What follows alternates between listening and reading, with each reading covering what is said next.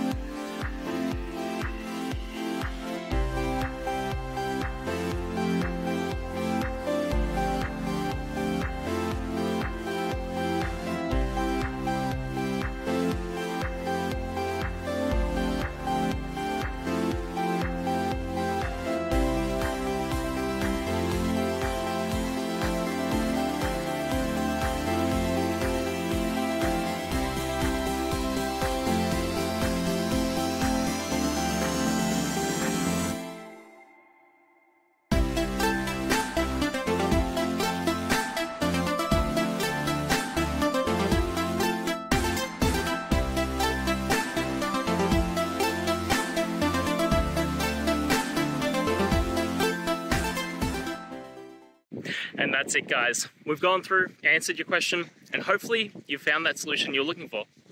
Guys, if you did, please hit subscribe. I'd really appreciate it. And until next time, you need technical help, I'll see ya. Have a good one.